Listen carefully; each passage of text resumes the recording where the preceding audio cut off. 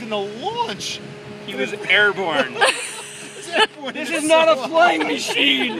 What have you done to my We've baby? got, we've Thank got, God we reinforced these. Look at that. You bent that. That is now angled outward. and and Marco, you were laughing. Well, well, he got to watch it from behind. He's like, I knew he was gonna get hurt, but I had to laugh. No, when he got airborne, I couldn't control my laughter.